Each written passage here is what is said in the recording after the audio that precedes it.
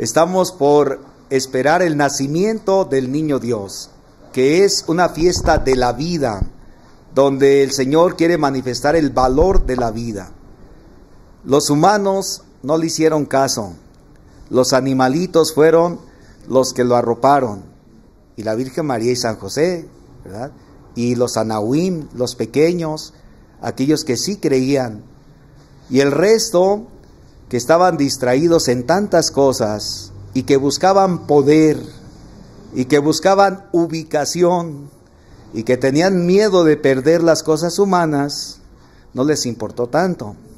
Entonces es lo mismo, la historia se repite. Hoy hay muchos niños indefensos. Lo peor es que la misma madre que lleva en sus entrañas el fruto de su misma persona, el fruto de amor, o si fue por violación, o lo que haya sido, lleva a un ser indefenso. Y ella se convierte también en victimaria y hace una peor injusticia con alguien indefenso. Entonces creo que la invitación es a todos nuestros creyentes, a toda la gente católica de Aguascalientes, se jactan de decir que son el 87% de católicos creyentes.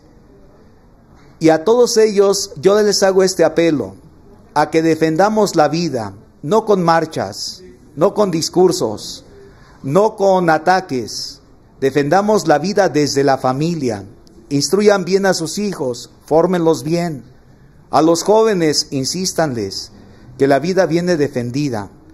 Si afuera los que buscan poder y que nada más tienen la estampa de decir que son católicos y que son creyentes y les interesa más el poder, si ellos quieren promover estas leyes, las leyes no se pueden obligar.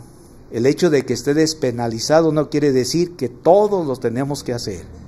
Entonces, yo invito a mis fieles creyentes católicos, y sí lo creo que el 87% son católicos, y que no están a favor del aborto, les invito para que más bien asuman su responsabilidad, dejémonos de discursos y de pleitos y mejor defendamos de verdad la vida. Y aquellos que deberían de defender y que deberían de hacer leyes que vayan para el bien de la vida, para el bien de la comunidad, para el bien de la familia, para el bien de los niños, ojalá que cumplan bien su misión que no vayan tras los puestos.